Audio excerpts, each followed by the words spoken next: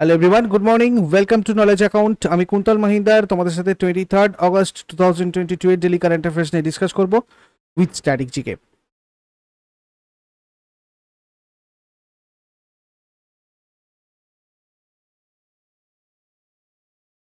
তোমরা এই কারেন্ট অ্যাফেয়ার্সের পিডিএফটা কালেক্ট করতে চাইলে মোস্ট পপুলার পিডিএফ বলে যে লিঙ্কটা রয়েছে ডিসক্রিপশন বক্সে সেই লিঙ্কটা থেকে তোমরা এটা কালেক্ট করতে পারবে। আর এটা ছাড়াও আদার্স যেসব তোমাদের কারেন্ট অ্যাফেয়ার্স বা আদার্স জিকে পিডিএফগুলো রয়েছে, সেগুলো এই মোস্ট পপুলার পিডিএফ বলে যে লিঙ্কটা রয়েছে এখানে আছে। এছাড়াও তোমাদের এই হোয়াটসঅ্যাপ নাম্বার একটা শেয়ার করা রয়েছে, এখানেও তোমরা কন্ট্যাক্ট করতে পারো এই কারেন্ট অ্যাফেয়ার্স কালেক্ট করার জন্য।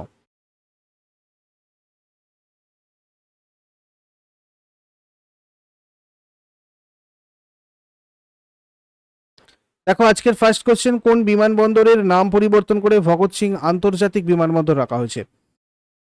চণ্ডীগড় বিমানবন্দরের নাম পরিবর্তন করে ভগৎ সিং আন্তর্জাতিক বিমানবন্দর রাখা হয়েছে। পাঞ্জাবের মোহালিতে অবস্থিত চণ্ডীগড় আন্তর্জাতিক বিমানবন্দরের নামটা পরিবর্তন করে ভগৎ সিং আন্তর্জাতিক বিমানবন্দর রাখা হয়েছে। পাঞ্জাবের রাজধানী চণ্ডীগড়, গভর্নর বনোয়ারিলাল পুরোহিত, মুখ্যমন্ত্রী ভগবন্ত মান, উৎসব লোরি, বৈশাখী এগুলো, লোকনৃত্য ভাংড়া গীতা, ডাব, ধামান, ওয়ান, নাকাল এগুলো। নেক্সট দুহাজার তেইশ সালে সতেরোতম প্রবাসী ভারতীয় দিবস কোথায় অনুষ্ঠিত হবে? সতেরোতম প্রবাসী ভারতীয় দিবস অনুষ্ঠিত হবে ইন্দোরে। প্রতি বছর নাইন্থ জানুয়ারি তারিখে ভারতের উন্নয়নে অনাবাসী ভারতীয়দের অবদানের কথা স্মরণ করে প্রবাসী ভারতীয় দিবস পালন করা হয়। উনিশশো সালে নয় জানুয়ারি মহাত্মা গান্ধী দক্ষিণ আফ্রিকা থেকে ভারতে ফিরে এসেছিলেন। সেই দিনটাকে স্মরণ করে প্রতি বছর এই তারিখে প্রবাসী ভারতীয় দিবস পালন করা হয়। ষোলোতম প্রবাসী ভারতীয় দিবস অনুষ্ঠিত হয়েছিল বারাণসীতে। মরিশাসের প্রধানমন্ত্রী প্রবীন্দ জাগনাউত সম্মানিত অতিথি ছিলেন সেখানে। Next world senior citizen day কবে পালন করা হবে? দেখো, এটা পালন করা হয় প্রত্যেক বছর টোয়েন্টি ফার্স্ট অগস্ট বিশ্ব প্রবীণ নাগরিক দিবস। এটা মার্কিন যুক্তরাষ্ট্রের জাতীয় সিনিয়র সিটিজেন্স ডে নামেও পরিচিত। মানব সমাজে প্রবীণদের অবদান তুলে ধরা এবং তাদের সম্মান জানানোর অভিপ্রায় দিবসটা পালন করা হয়। নেক্সট ভারতীয় রেলের দীর্ঘতম মালবাহী ট্রেনের নাম কি? ভারতীয় দে- রেলের দীর্ঘতম মালবাহী ট্রেনের নাম হচ্ছে super Vasuki. South East Central Railway Azadi ka Amrit মহোৎসব উদযাপনের অংশ হিসাবে পনেরোই আগস্ট সুপার বাসুকি নামে দীর্ঘতম মালবাহী ট্রেন চালালো। ট্রেনটার দৈর্ঘ্য সাড়ে তিন কিলোমিটার। এই ট্রেনে রয়েছে দুশো পঁচানব্বইটা ওয়াগন, যাতে মোট সাতাশ হাজার টন কয়লা পরিবহন করা যাবে। ট্রেনটা একটি স্টেশন অতিক্রম করতে প্রায় চার মিনিট সময় নেবে। প্রথম দিন, অর্থাৎ পনেরোই আগস্ট টেস্টিং রানের জন্য সুপার বাসুকি ট্রেনটা ছত্তিশগড়ের ভিলাই থেকে কোরবা পর্যন্ত যাত্রা করেছে।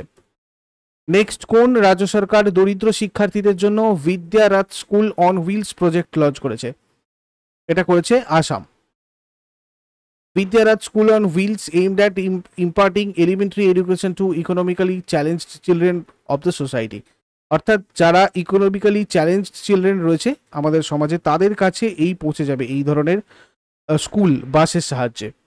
আসামের রাজধানী দিসপুর, আসামের মুখ্যমন্ত্রী হিমন্ত বিশ্ব শর্মা, রাজ্যপাল জগদীশ মুখী, লোকনৃত্য বিহু বিচুয়া নাটপূজা মহারাজ কালীগোপাল, বাগরুম্বা নাগা নৃত্য খেলগোপাল, তাবলচাংলি এটসেট্রা উৎসব, অম্বুবাচি, ভোগালী বিহু, বৈশাখু দেহিং পাটকাই এগুলো। National park Kaziranga national park, Manas national park, Nameri national park, Orang national park. Next, কোন রাজ্যের মিথিলা মাখনা জিআই ট্যাগ পেয়েছে। মিথিলা মাখনা, এটা বিহারের একটা প্রোডাক্ট যেটা জিআই ট্যাগ পেয়েছে রিসেন্টলি বিহারের রাজধানী পাটনা, মুখ্যমন্ত্রী নীতিশ কুমার, রাজ্যপাল ফাগু চৌহান। জাতাজাতিন ওয়াকোভাকেইন পানওয়ারিয়া সামচাকোয়া বিদেশিয়া, এগুলো বিহারের লোকনৃত্য। আর মধুবনী পেন্টিং বিহারের খুব ফেমাস ফোক ফোক পেন্টিং আমরা জানি, এখান থেকে প্রশ্ন আসে। এবার দেখো জিআই ট্যাগ জিনিসটা কি? জিআই ট্যাগের পুরো নাম হচ্ছে জিওগ্রাফিক্যাল ইন্ডিকেশন ট্যাগ যেসব পণ্য, বস্ত্র, ফসল, ফল ইত্যাদি দ্রব্য বিশেষ স্থান থেকে পাওয়া যায় এবং দ্রব্যগুলো খুব উচ্চ মানের হয় এবং দুষ্প্রাপ্য হয়। সেই সব দ্রব্যাদির চাহিদা খুব বেশি হয় আর তাই সেই ধরনের প্রোডাক্টগুলোকে জিআই ট্যাগ দেওয়া হয়।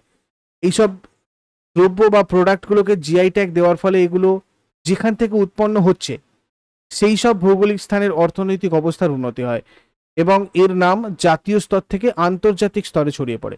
এই ট্যাগ দেওয়ার প্রধান উদ্দেশ্য হচ্ছে কোনো বিশেষ দ্রব্য যে স্থান থেকে উৎপন্ন হয়, সেই স্থানের সাথে ওই দ্রব্যটির একটা ভৌগোলিক সম্পর্ক স্থাপন করা এবং সেই সব দ্রব্যের অবৈধ সরবরাহ বন্ধ করা। নেক্সট সম্প্রতি প্রয়াত নারায়ণ কোন রাজ্যের প্রথম উপজাতি উপন্যাসিক ছিলেন? ইনি কেরালার একজন প্রথম উপজাতি উপন্যাসিক ছিলেন, যিনি সম্প্রতি প্রয়াত হয়েছেন। মৃত্যুকালীন এনার বয়স হয়েছিল বিরাশি বছর। উনিশশো আটানব্বই সালে প্রকাশিত তার প্রথম উপন্যাস কোচারিথি নাইনটিন নাইনটি নাইনে কেরালা সাহিত্য একাডেমি পুরস্কারের জন্য নির্বাচিত হয়েছিল। উপন্যাসটা ইংরেজি, হিন্দি আর দক্ষিণ ভারতীয় ভাষায় অনুদিত হয়েছে। নেক্সট, কোন রাজ্য সরকার সাম্প্রতিক গ্রামীণ জীবিকা পার্ক স্থাপনের কথা ঘোষণা করেছে? গ্রামীণ জীবিকা পার্ক স্থাপনের কথা ঘোষণা করেছে ছত্তিশগড়।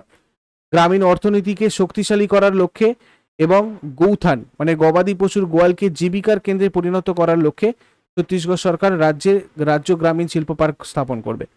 রাজধানী রায়পুর মুখ্যমন্ত্রী ভূপেশ বাঘেল, রাজ্যপাল অনুসুয়া উইকে। নেক্সট ইউইএফএ মহিলা চ্যাম্পিয়ন্স লিগে খেলা প্রথম ভারতীয় মহিলা ফুটবলার হয়েছেন কে? ইউইএফএ মহিলা চ্যাম্পিয়ন্স লিগে খেলা প্রথম ভারতীয় মহিলা ফুটবলার হয়েছেন মনীষা কল্যাণ। প্রথম ভারতীয় মহিলা হিসেবে মনীষা কল্যাণ সাইপ্রাসের দল অ্যাপোলন লেডিস এফসির হয়ে ইউইএফএ ওমেন্স চ্যাম্পিয়নশিপ লিগকে খেলতে নেবে ইতিহাস সৃষ্টি করেছেন।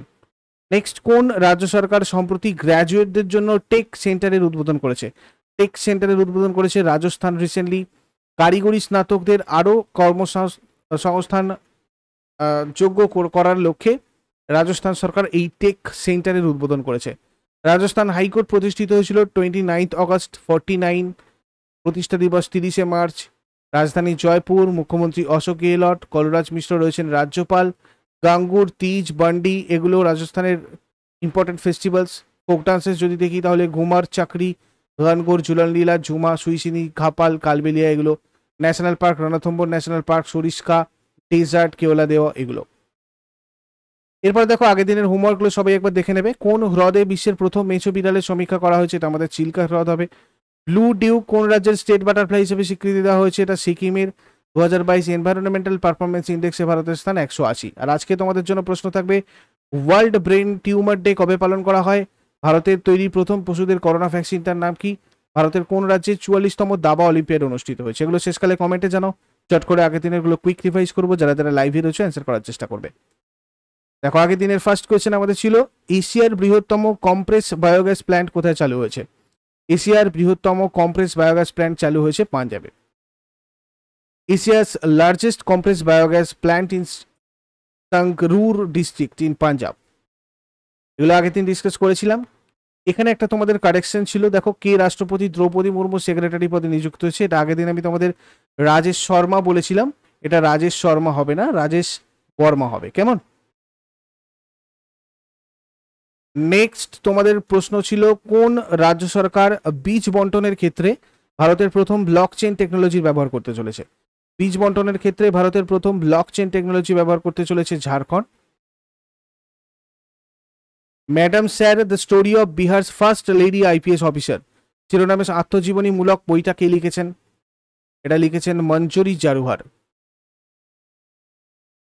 নেক্সট কোন রাজ্য সরকার বাৎসল্য যোজনা লঞ্চ করেছে? দেখো, বাৎসল্য যোজনাটা রিসেন্টলি লঞ্চ করেছে সিকিম।